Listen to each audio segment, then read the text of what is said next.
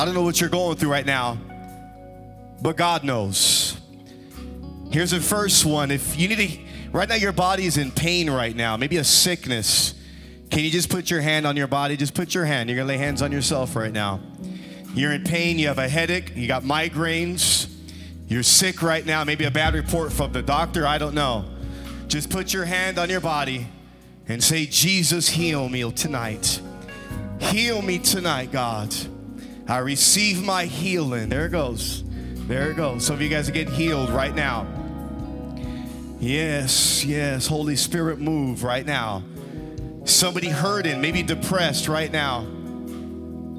Can you slip your hand up? Let's, let, let us just let the Holy Spirit move for a couple of minutes right now. I'm not, in, I'm not, we're not in a rush tonight. Let's just let God, it's okay for let the Holy Spirit just move a little bit right now. We're going to get into a word. God has a word for us tonight. Can you slip your hand up if you've been dealing with depression for a second? Can you slip your hand up? Enemy's been attacking you. You've been depressed, can't sleep, can't drink, maybe you can't eat. Yes, look at all those hands. Look at all those hands. Yes, yes. You're at home right now, you're watching online, join us. I see all these hands right now. We come against the spirit of this right now of depression right now in the name of Jesus. Depression, we command you to go right now. Depression, we command you to go. Spirit of suicide, we command you to go right now in the name of Jesus. Father, you see all these hands that are raised right now. They've been attacked with, with depression. We bind that in Jesus' name. We bind that in Jesus' name. Come on, church, give the Lord a big shout of praise. The Holy Spirit is moving right now, He's touching us. Father, we thank you. I don't know what the need is, Lord. I don't know what the warfare they're going through, God. You know the warfare they're facing, Lord.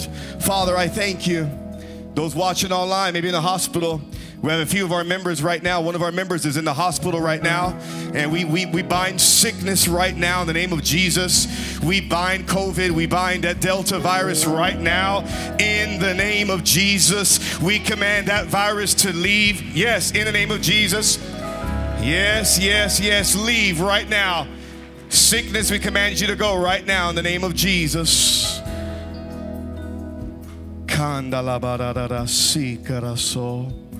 We're on holy grounds right now. I don't want to rush this morning. Just let the Lord touch you for a second. The Lord gave me a message on warfare. A lot of us in this room, I would say the majority, you're going through some serious warfare right now. Slip your hand up if you're going through some serious, intense warfare right now. Look at all those hands. Look at all those hands. Father, we thank you, Lord, that we are more than conquerors to you, Jesus, who strengthens us.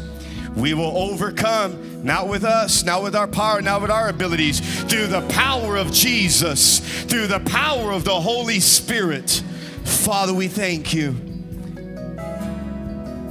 Yes, Yes. Yes. there it goes, there it goes, there it goes, there it goes. There's the Holy Spirit. There it goes, there it goes, there it goes, there it goes. Some of you guys are crying right now. Why am I crying? The Holy Spirit is just touching you right now. He's cleansing you, He's purifying you, He's strengthening you.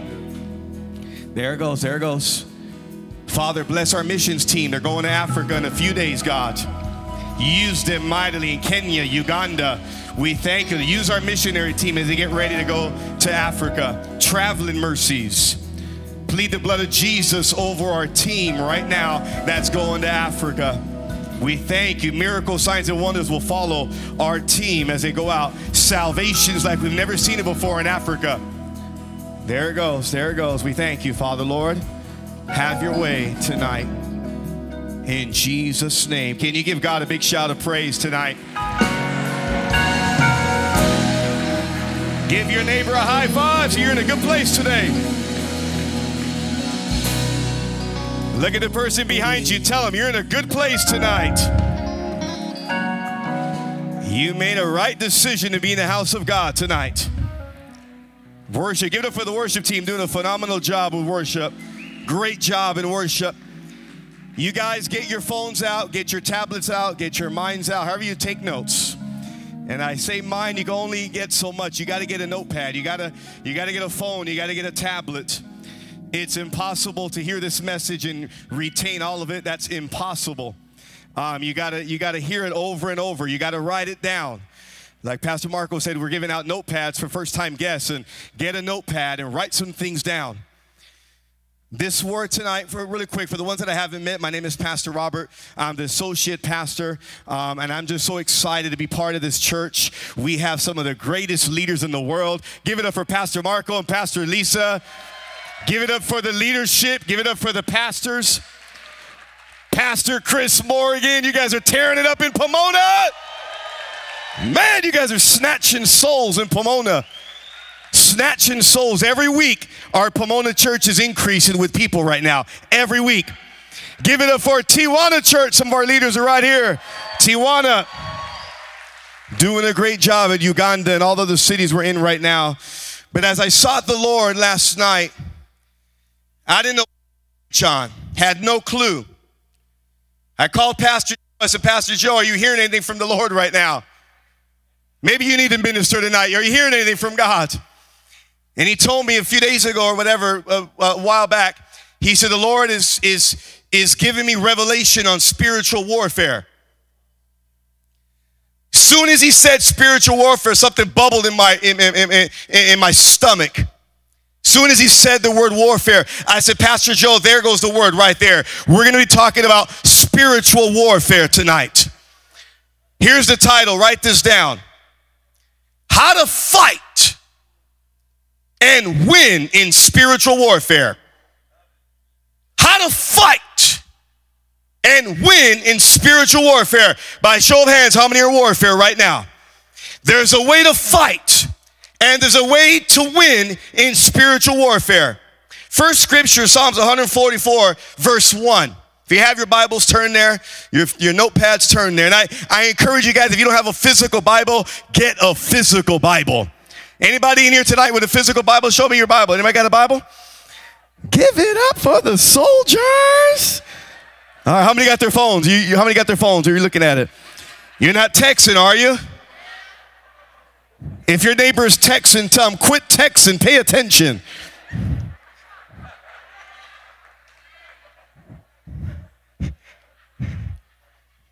I, I, I, spoke to the youth a few weeks ago, and I'll share it with you. I was in the youth room the other day, and only one kid had a physical Bible in there. That's okay, they were on their phones. They were looking up scriptures. Some of them were texting. I started walking up and down the aisles in our youth room. I said, hey, get off your phone. We're getting ready for the Word of God. Man, the youth, some of them got scared. What's this guy doing in here? And when I was there looking at the teenagers with all their phones, I told the teenager, I'm gonna tell you this be careful that the Word of God, the Bible, just becomes another app on your telephone. It's just an app. We click it in the morning, and it got auto, what is it, auto play or auto, what do you, what is it? Audio. That's cool. I like that. But nothing beats the physical word of God. So I encourage you guys, get a Bible and read it. And, and phones are great. I love phone. I love technology. Psalms 144, verse 1. You guys got it? Let me see who's got it. You guys got it? Positive peer pressure. Look at someone on their phone. They got it? They're not texting their friends or girlfriends. Praise the Lord. Praise the Lord. Praise the Lord. Worship team sang Jehovah Jireh. Praise Jehovah Jireh, the Lord our provider. Praise the Lord, who is my rock. Who is your rock tonight? If your rock is not the Lord, spiritual warfare, the enemy's going to eat you alive. The Lord has to become our rock, our refuge, our everything. He trains my hands for war. What does the Lord do? What does the Lord do? And gives my fingers skill for battle. Right now, the Lord is trying to skill you in warfare. Here's a side note things are not going to get easier, you're going to have to get stronger with God. Look at your neighbor and tell them things are not going to get easier. You're going to have to get harder and stronger. Right now, I'm training my son to play baseball a little bit. He's in seventh grade. You know, he thinks he's pretty good. He is pretty good. He don't have a clue what high school's all about. I was the star in Little League. Man, I used to hit home runs left and right. I think my father's in right here. Father, good to have you in church today. Look at my dad. Good to see you, Dad, in church today. Love my father so much. I was great, man, hitting home runs all over the place. I thought I was the fastest kid on the block. Everybody told me I'm fast, and I was fast until I got to ninth grade high school. I was still pretty fast. I was, oh my gosh, there's kids way faster than me. Then I was skinny like this. We got on the weight bench, and I was one of the worst. I was, my legs were chicken legs. And a coach told me, son, you're in high school now. Those legs are not going to cut it. Because power comes from your legs. Your legs are not going to be able to you can't you can't you can't get power with chicken legs. I had a strong upper body, but my legs were chicken legs. And I said, This coach don't know what he's talking about. Man, I was a star in the league. And sure enough, those home runs I hit in Little League, there were pop outs in high school. I couldn't generate the power. Warfare intense warfare, the battle against the enemy, the things we're about to face in this country, the things you're about to face in your job, the things you're about to face in your family, they're not going to get easier. We need to get stronger with God. Look at your neighbor and tell him it's time to beef up. It's time to beef up. Let me define spiritual warfare. Write this down. Definition of spiritual warfare a spiritual war between the enemy and God's followers. It's a spiritual war between the enemy and God's followers. Look at Ephesians 6, verse 12. I'll give you a moment to get there. If you're on your phones, get there. Let me see the Bibles. Are we turning? Okay, okay. I think we go too fast sometimes. We're, we're not turning to the scripture. We're going to, Ephesians 6.12.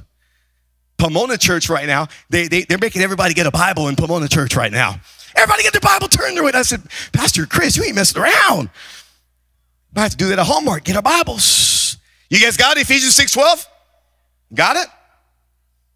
For we are not fighting against people made of flesh and blood, but against persons without bodies I'm reading now the TLB version. The evil rulers of the unseen world. Those mighty satanic beings and great evil princes of darkness who rule this world. And against huge numbers of wicked spirits in the spirit world. The first thing to know about warfare, the fight, the war is not against people. Wives, your battle is not with your husband. You're trying to get your husbands to do this and do that. Your husbands are not even listening half the time. Can I get an amen, women? That was your. Let me try that again. Your husbands are not even listening half the time. what? My wife asks me all the time, what did I say? Blur, blur, blur, blur, blur, blur, blur. Your fight is not against your spouse. It's not against your boss. It's not against it's not against your kids. It's not against your brother. It's not against your sister. It's not against your neighbor. It's not against your dog. It's not against. It's not a people, a physical thing. This is a spiritual fight that we're in.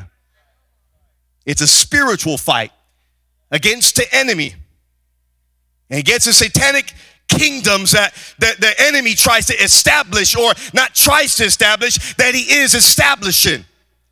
He's establishing Satan kingdoms in the schools. He's establishing Satan kingdoms, satanic kingdoms in our neighborhoods. But we're here to let notice right now. It doesn't matter what the enemy tries to do. We serve a God who's above everything. Can I get an amen? But we have to fight. It's a fight against the enemy. It's a fight against a satanic kingdom. I don't know about you, my house and family, and we're under warfare right now. Anybody under warfare right now? It's very important to know who you're fighting against. If you don't know who you're fighting against, you can't strategize.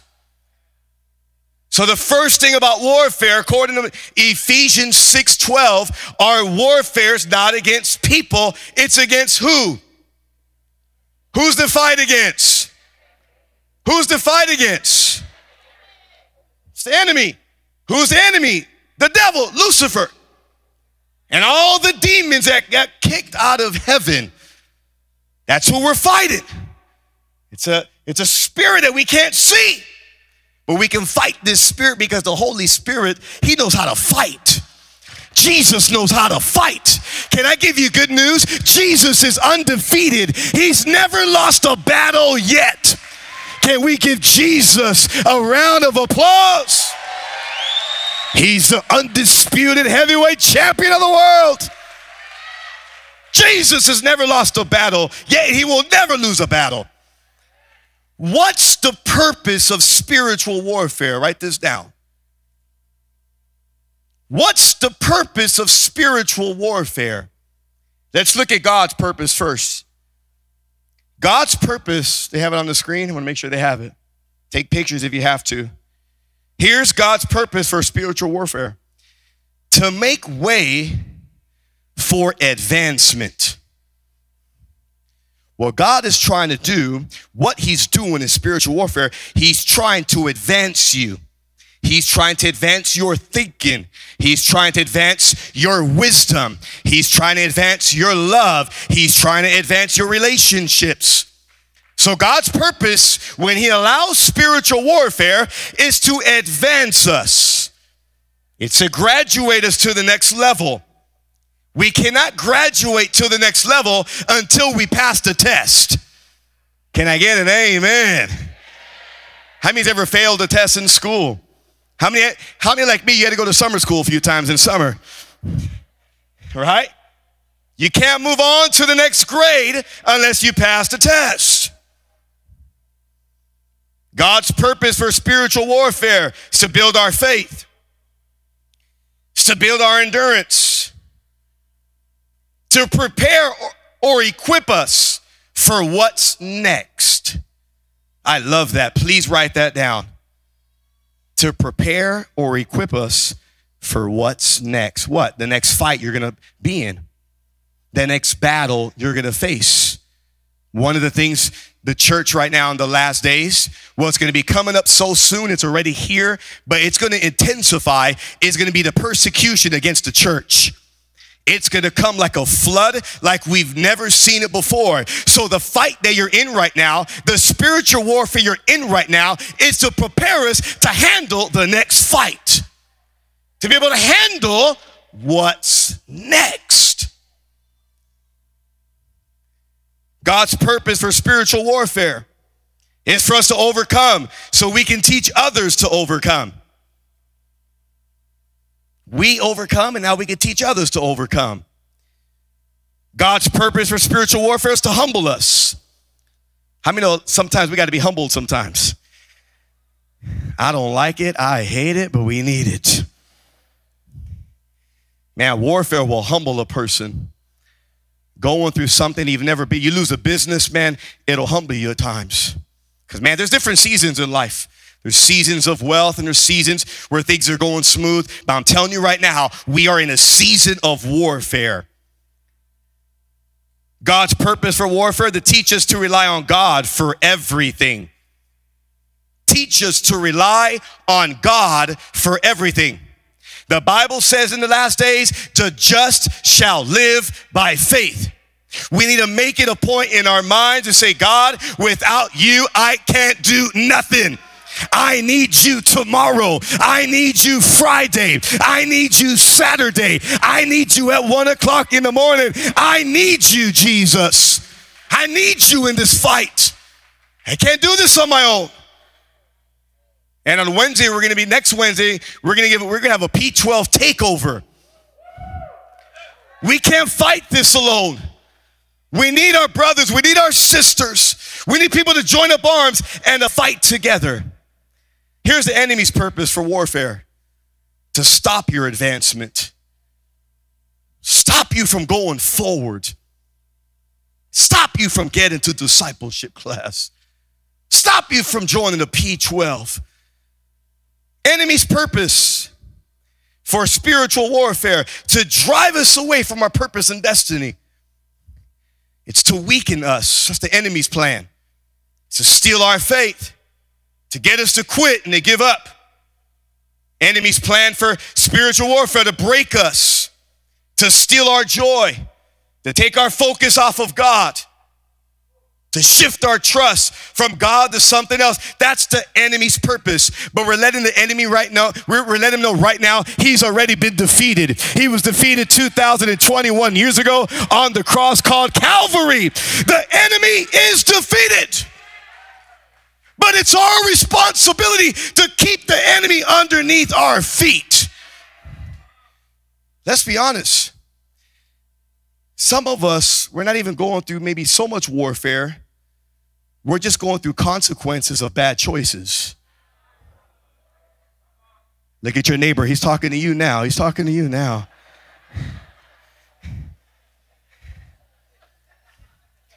Pastor, I'm going through warfare. I got this crazy boyfriend. That ain't warfare. You just choose. You just, you just chose. I don't even want to say. You chose. Right? The point of that is, and I'm guilty like everybody in this room, don't add to the warfare. Life is already hard as it is. Lord, help me to make good choices. Can you tell the Lord that? Say, Lord, help me to make good choices. Let's not add to the warfare. I've done that several times. Now, three things you could do to fight in the spiritual battle. Write these down. We're going to look at Je- Jehoshaphat. Go to Second Chronicles. Second Chronicles. Go to chapter. Go to chapter 20 for the sake of time. Write this down. Three things you can do to fight and win in spiritual warfare. Second Chronicles 21 and 2. Let's look at the kind of like the story of what happened in Jehoshaphat and the warfare he was under. Jehoshaphat again was a king of Judah. Um, he was the fourth king. He was a godly man. Um, but look at the warfare that he's under. Second Chronicles chapter 20, verse 1. After this, the armies of the Moabites, the Ammonites, and some of the Meunites declared war on Jehoshaphat. Can I tell you something? The enemy has declared war upon you and your family. The enemy has declared war over your children, but I'm letting the enemy know he can't have my kids, he can't have my marriage, he can't have my relationships. Give Jesus a shout of praise. Tell your neighbor, you can't touch this. MC had it right. MC Hammer had it right back in 1995 or 3, whatever it was. The enemy has declared war. He's declared war upon Kenya and Uganda. Last time I went to Uganda, what is it, three, four o'clock in the morning or so, five o'clock? I don't know what it is. I heard somebody shouting outside when I was there, my first morning there, and I was tired. That's a long trip. Oh, blah, blah, blah, Loud. I said, man, it's almost speaking in tongues. This is good. I said, What in the world is that? Open up the windows and I could hear it for miles. I said, What is that? And I hearing it more. And somebody had told me, it might have been um, Pastor, um, Pastor there in Uganda, I forgot his name. Yeah, Bernard. He told me that's the Muslims praying. So I don't know if it's five o'clock in the morning or four. I forgot what time it was. And blah, blah, blah, blah. And I said, that's war. They're coming against Jesus right now with that prayer. They don't believe in Jesus as the Messiah. That's a demonic religion. And they did that for about an hour or so. And I said, I bind every prayer and what these guys and people are saying. I told Pastor Bernard, I said, get your speakers. You start praying at five o'clock in the morning. You can shout all you want. You do in Africa, get ready to die. Pastor Bernard said, Robert, slow your roll. We could do that. We could die. They could, they could blow up our church tomorrow. That's how serious it is, the warfare. That's why we went to Uganda. They're buying all the properties in that Buvuma Island where we started the school. The Muslims are buying all the property. God told Pastor Bernard, get there and beat them by start a school first. Beat them there. That's why we're in buvuma island. That's how we got to uganda. And praise be to god we set up a school in uganda in buvuma island setting up a church saving souls. The enemy has declared war. But i'm telling the enemy he is defeated you come against me with sword and javelin. I come against you in the name of the Lord Most High God. You shall be defeated. I come to you with the armies of the living God. Man, I feel the weight of this sermon. You guys feel the weight of this? I feel the weight of this right now. Whew. Enemy has declared war on our children. Whew.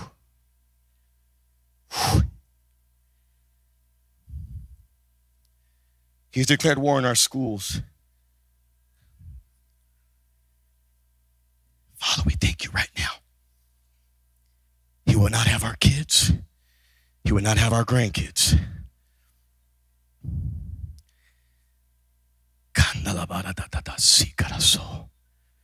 It's the weight of the Holy Ghost. It's the glory. This is the glory. This is the glory. This is how the glory feels. Father, I feel the weight of this. Enemies declared war. Help us to be alert. Help me, God, to be alert.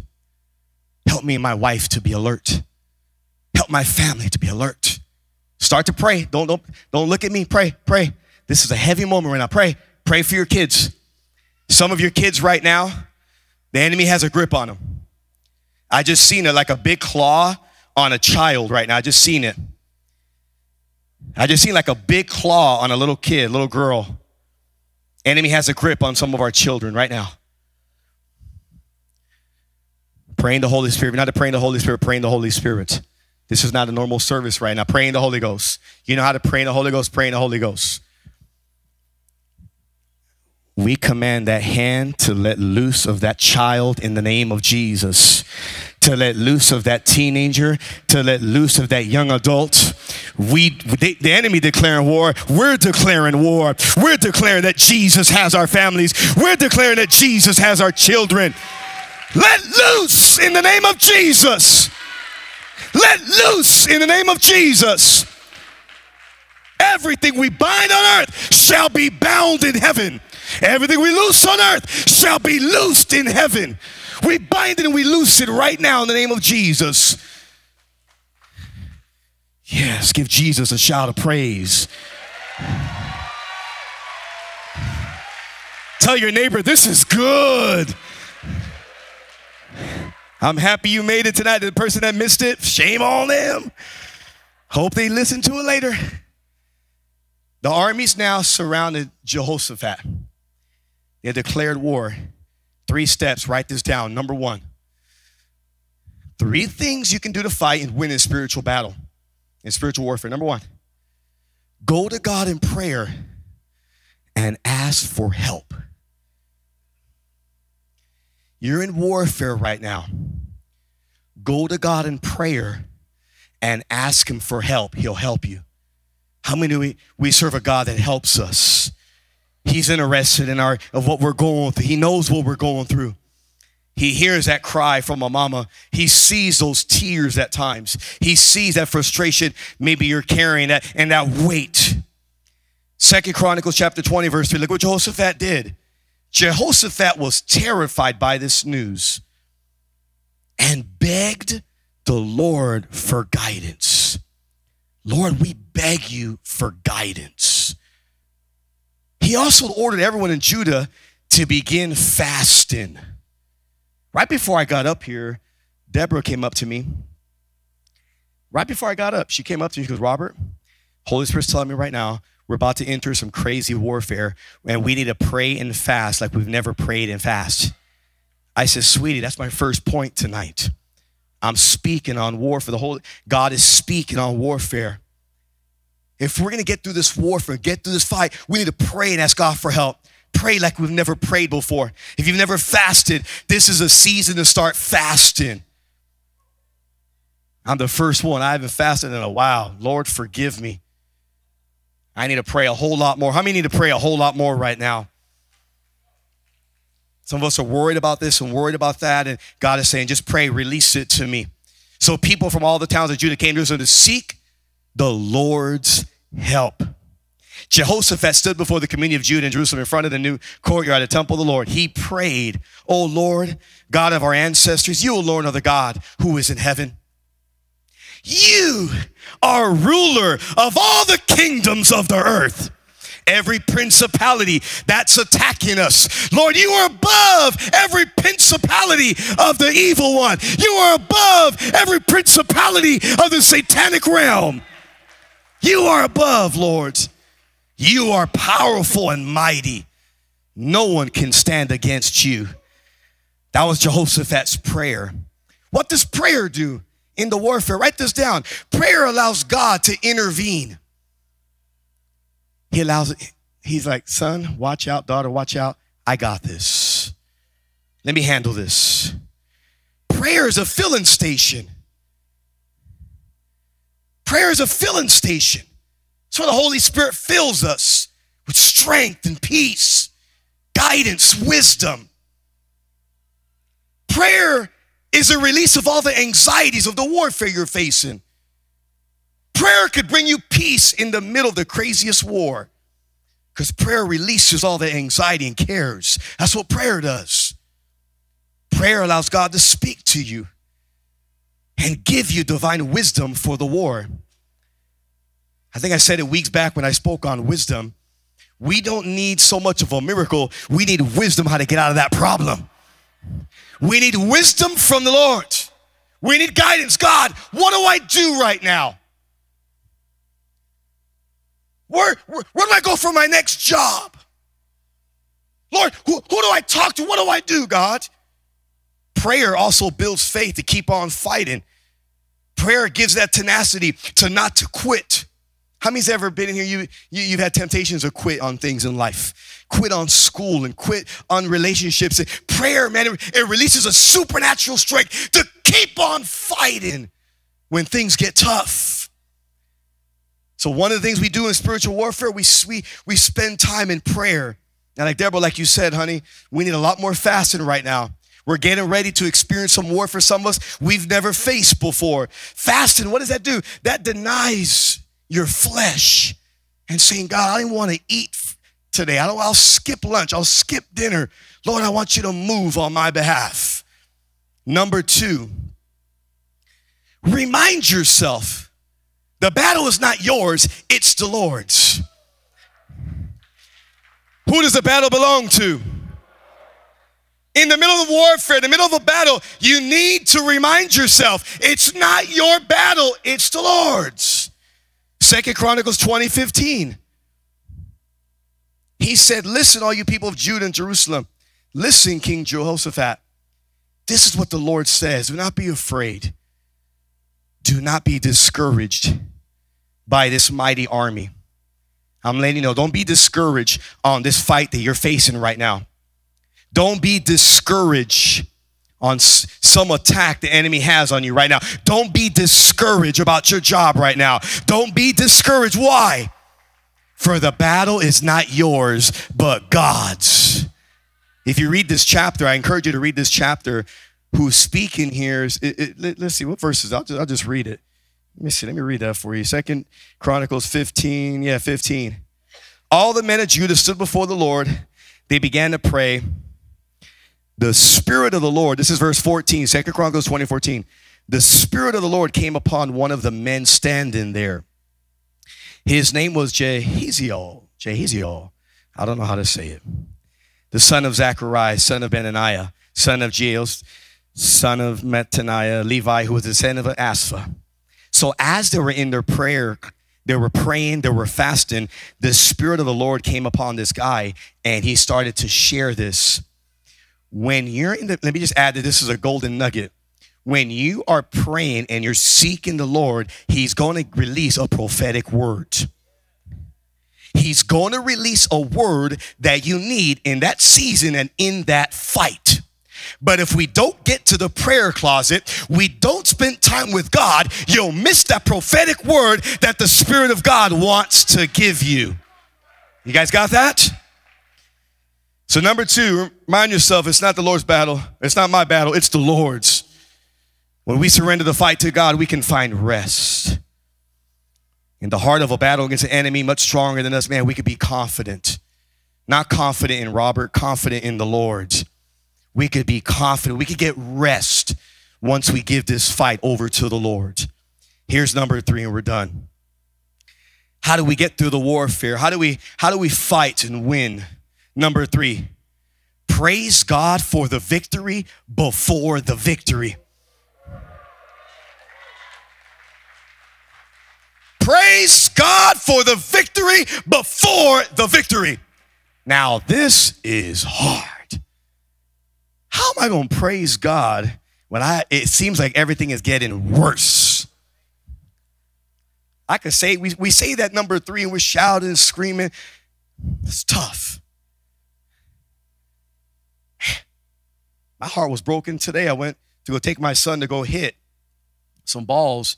Some guys training him right now, and I was so broken. I was talking to the coach, and he says, Hey, come on, let me tell you something, man. Said, What's up? You see that girl over there? I said, Yeah. He That's my daughter's friend.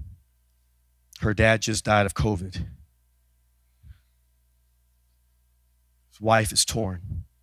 We had the daughter here just trying to just trying to get her mind at ease for an hour. And I, I said, You got to bring her to church. He said, Rob, I did. I brought her Sunday. She was here at nine o'clock. I said, I told John, John, good job. You got it. Get, get, get mama. You got to get mama to the house. You got to get her here. I said, any more kids? Yeah, they got a son. Get him to the house. You got to get him here. When I hearing these stories and I, I was so broken. I went home and my wife tells me, I said, Rob, you take it too personal. And I do. I probably wouldn't sleep tonight barely. It's just, it wrecks me. I just looking at her, just catching ground balls. I said, how is she even here? I don't know what you're facing.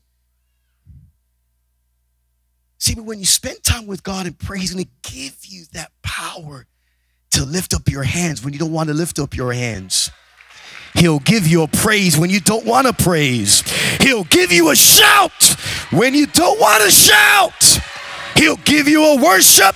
He'll give you a song.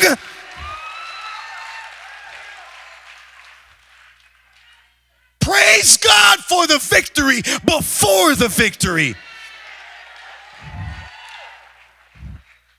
Second Chronicles 20, 21. After consulting the people, the king appointed singers to walk ahead of the army. Now, again, they're being attacked by three countries. And look what the Lord tells them I'm going to fight for you. I got the battle. Just get a bunch of singers, put them in the front, start worshiping me. King Jehoshaphat, I'm sure I. The, the, the description of the Bible says if, if, it wrote down everything, we couldn't even write down. I'm sure for a split second, he'll say, What? Sing? There's three, we're surrounded, we're about to get annihilated. God says, No, you're not. It's my battle. I just want you to sing. So they put the singers, they put the worship team out in the front. They start singing. Second Chronicles 2022. Now look what happens when we worship in the middle of warfare. Look what happens when we praise God for the victory before the victory. Second Chronicles 20, 22. Again, we don't have time to go through this whole chapter. Read this chapter, study it later. It's a great chapter and chapters. At the very moment they began to sing and give praise, the Lord caused the army of Ammon, Moab, and Mount Seir to start fighting within each other. what happened? As soon as they began to worship, as soon as we begin to worship and give God praise before we see anything, as soon as we lift our hands, as soon as we worship, the Lord starts to move. I love that. At that very moment, they began to sing and sing praises. The Lord caused them to fight and kill each other. See, praise disarms the enemy's weapons. Praise destroys the enemy's strategies. Moab, Ammon, and Mount Seir, they had strategies to kill and annihilate the people of God. God says, Not today. No way. No, I'm right here. I'm fighting this battle. No, not, not on my watch. Praise will cause victory. One of the greatest weapons we have in the middle of a warfare is start to worship and shout and scream, praise God for who He is. We're not praising our problem, we're not talking about our issues. Let's praise God for who He is. And who is He? He's the King of Kings, He's the Lord of Lords. He's never lost a battle yet. He is for us, He is not against us. He knows what we're going through. Somebody worship God. Stand to your feet. Stand to your feet. Start to worship God for 30 seconds. I double dog dare you. Praise God for the victory before the victory. Can you praise God for the victory before the victory? Praise God for the victory before the victory. Praise God for the victory before the victory.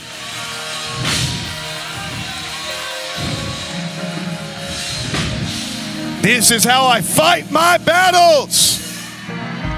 You guys, can you guys sing that? This is how I fight my battles.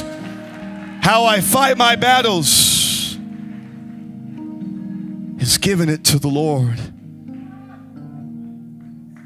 and worshiping His majesty, His, His glory. This is how we fight our battles. We fight on our knees, we're praying. This is how we fight our battles, God. It's not mine. This is your battle. This is not our church. This is your church, God. It's not my finances. These are your finances, not mine. See, people that can't give, this is the issue. You think that money belongs to you. That money don't belong to you. That money belongs to God. Our mind, He's given us that mind. We're going to end with that song, but before we do, if you are under spiritual attack right now, I want you to run to the altar right now. Run, run, run, run, run. We're not going to have room, but just run down anyways. We're going to pray for you.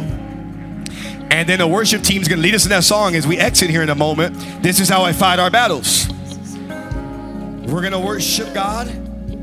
We're going to worship Him as though the victory is already done because it is already done. Yes, come, come, come. Here's a second group. Here's a second group. Here's a second group. Everybody pay attention for another 30 seconds. We're done. If you're in this room tonight, you don't know Jesus as your Lord and Savior. If you were to die tonight, where are you going? If you were to die tonight, where are you going? Are you going to heaven? So, Pastor, I thought everybody goes to heaven. No, there's a heaven and there's a hell. All those who reject Jesus, they go to hell. All those who receive Jesus, they go to heaven. There's two locations we can go to when we die heaven or hell. Where are you going when you die? Have you given Jesus your life? Have you surrendered to the Lord? Have you repented of your sins? Here it goes. I'm going to count to three. Say, Pastor, I want Jesus. I want to be forgiven of all my sins. I want to make sure if I died today, I would go straight to heaven. Pastor, I need to get right with God. I'm not right with Him. If I died tonight, I don't know where I'm going. I'm going to count to three. You say, Pastor, I want Jesus. I want to be forgiven. Man, I want to make sure if I died today, I'd go straight to heaven. Raise your hands when I count to three. One, two, three. Raise your hands right now. Raise them, raise them, raise them, raise them, raise them. See all these hands up here. I see another hand over there. All these hands here. I see another hand over there. I see all these hands. I see three more hands. Three more hands over here. Another hand over here. So proud of you. All those that just raised your hands, you're still at your seat. I want you to come down. Make your way in the aisle. Just it's packed. Just get in the aisle. The Lord's going to touch you in that aisle right now. Why, why do I say get out in the aisle? Because we're making a public confession that I'm a follower of Jesus Christ. Yeah, get out of your seats. There you go. Give them a round of applause. You guys are making your way down, and, and we had a lot of hands up here. All right? I'm going to say this prayer. We'll lead into salvation. And then let's just, this is how I fight my battles. We're going to end on this song. Yeah. Oh, yeah, the crusade this Saturday. You guys, Franklin Graham. Billy Graham was one of the greatest evangelists we've seen. Billy Graham has passed away, his son has taken over. They're doing a God Love You tour across the United States, throughout California. And a guy was praying, one of the guys told me, Pastor, I said, How did you get to San Bernardino? One of their intercessors was praying, and in the prayer time, he seen the map of California. Then he, he gets the map after he's praying, Lord, where do we go? He's all Southern California. He starts looking at Southern California. But Lord, we're in Southern California. There's so many cities in California. He goes, Go to San Bernardino. So this Saturday at 7 o'clock, Franklin Graham, the whole tour is going to end in San Bernardino. This is the last stop of the God Loves You tour. This Saturday at the Orange Show at 7 o'clock.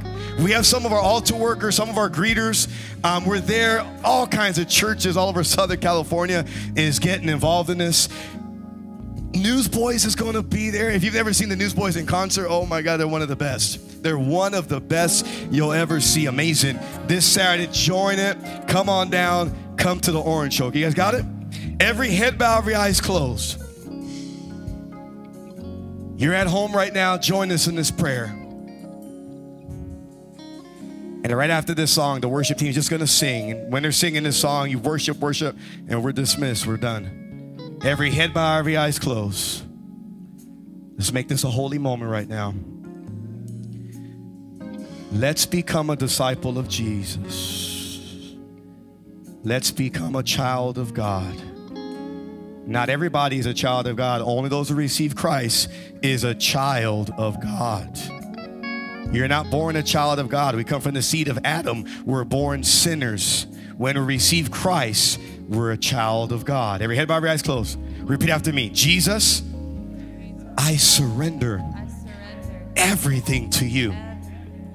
Jesus, thank you for dying on the cross to forgive me of all of my sins. I repent of all the wrong that I've done. Jesus, today, I confess you as my Lord and Savior. My faith is in you, God. Today I am saved. Today I'm born again. Today I become a disciple of Jesus Christ. Holy Spirit, fill me. In Jesus' name. Amen. We come against every attack. This is how we fight our battles. We're going to worship God. Let's worship God. We love you guys. If anybody needs prayer, come on down. We'd love to pray with you. But let's worship God. Everything starts with starting at the way. Up in the front, starting at the way. God bless you guys.